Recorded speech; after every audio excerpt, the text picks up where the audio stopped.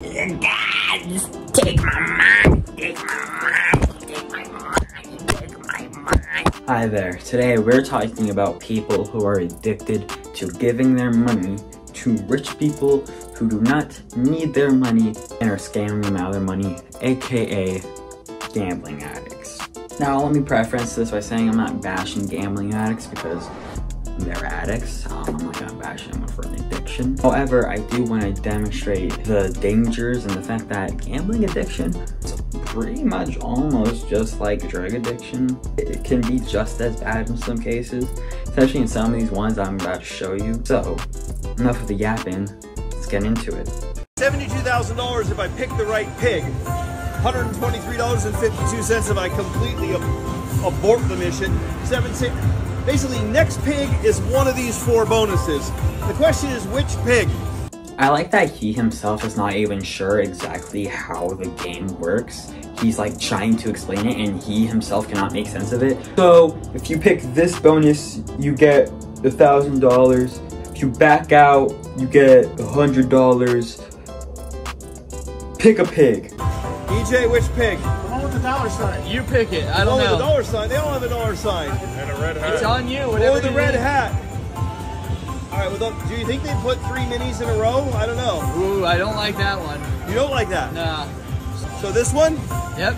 make it a grand. How much is that? 72 grand. Oh, I got it. All right, ready? One, two, three. I'm scared. Four, go. Fire!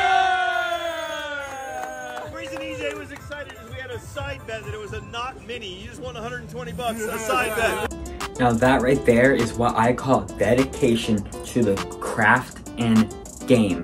He sat there and placed a bet on his bet. He won $120 from a losing. That's the mentality you gotta have. It's not an addiction, it's a dedication. And more importantly, it's a mentality.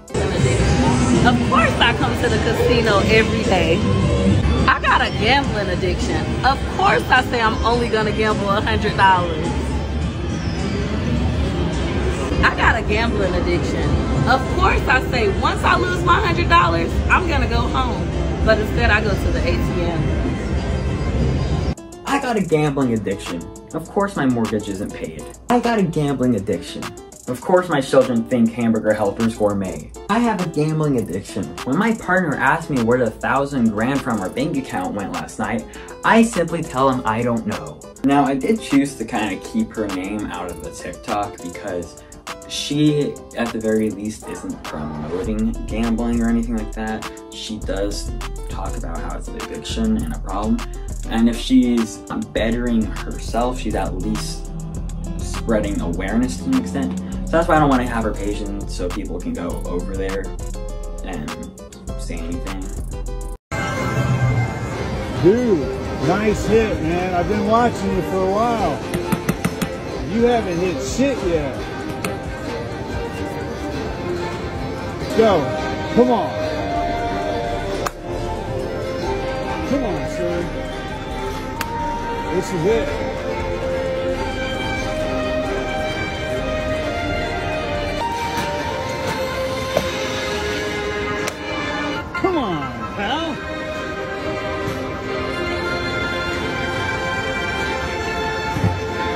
That's the one. I feel like the last thing someone who is a gambling addict would want to hear is, damn, you haven't hit shit. I've been watching you for a while, and you have not hit shit. That just is gonna keep him going. On top of the hype you're already giving by being like, let's go, come on, come on, you're gonna hit, you're gonna hit, you're gonna get it.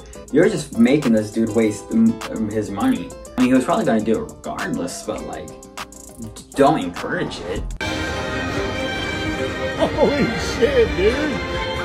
You're getting fucking teabagged again. Scrape it. Scrape that motherfucker.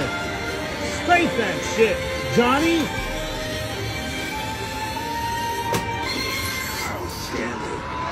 Dude. I wanted to ask you a question real quick. At what point in your life did things start to go downhill and you realized you would be here strung out on the slot machines? I'm not gonna lie, I kind of feel bad for old Johnny there. He was uh, fucking excited as fuck after he won that. Even the guy was trying to, like, was pretending to hype him up. He fist bumped him and shit. He was like, let's go, Johnny, good shit. And then he proceeds to fucking ask him that? You're not wrong. I wouldn't necessarily say you're wrong for asking. However, you did do him dirty. However, he also does not have any thoughts between those eyes.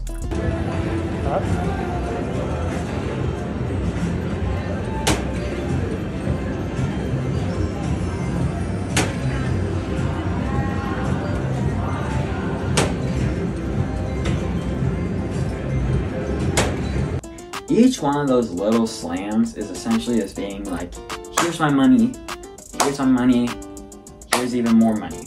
This is what the direct equivalent of that is. Here's my money, here's my money, take it. You guys tell me. Out. How much does Steve owe on uh, on uh, on the slots? Next do you know? slots, I think it was like 10 grand. Let me double check. How much? I think it was only 10, but let me double 10,000? check. The last I checked. Ten. He spent ten thousand on slot machines. Today. How the fuck is that even? I'll admit, I admit. How the fuck do you spend ten thousand dollars on a slot? Don't blame it on me! Don't blame it on me! Why am I getting back? We're good. I've never even heard of such a fucking thing. You know it's crazy when even Dana White's a bit shocked. Dana's saying like 10k, that's more than I pay my fighters. If that's impossible, I've never heard of that. As far as Dana White knows, nobody other than him can have more than 10k at a time. He pays his fighter about a dime and a nickel every fight. In Dana mind, he's like 10,000. That's more than I beat my own wife. Now that we've taken a look at these gambling addicts, from all types of people to all types of wealth, I've devised a song dedicated to them.